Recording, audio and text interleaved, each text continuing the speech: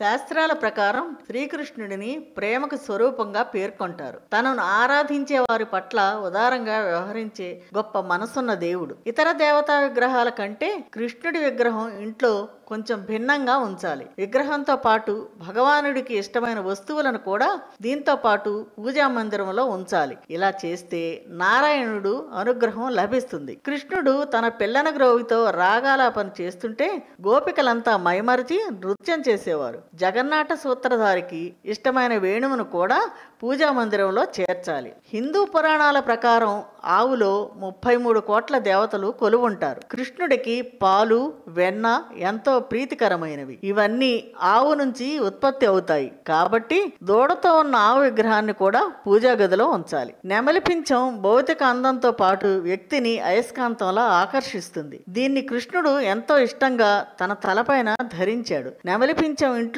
Negative energy ప్రభావాన్ని తగ్గిస్తాయి. కలువ బురదలో నుంచి జన్మించిన తన సువాసనను పంచుతుంది. మనిషిలో స్థిరత్వం వృద్ధి చెందడానికి కమలాన్ని పూజా మందిరంలో ఉంచాలి. రోజు తాజా కలువను తీసుకోవాలి. కృష్ణుడికి సమర్పించే నైవేద్యం వెన్న కలకండ. అందుకే వీటిని రోజు నైవేద్యంగా సమర్పించాలి. వైజయంతి మాలను శ్రీకృష్ణుడు తన కంఠంలో లేదా చేతికి ధరించేవాడు. ఈ కంఠాభరణం తప్పనిసరిగా పూజా గదిలో ఉండాలి. చందనంతో తయారు చేసిన ఈ మాలను దేవదేవుడు ఎంతో ఇష్టంగా ధరించినట్లు పురాణాల్లో పేర్కొన్నారు. రాధాకృష్ణుడి విగ్రహానికి మాత్రం తులసితో అర్చన చేయరాదు.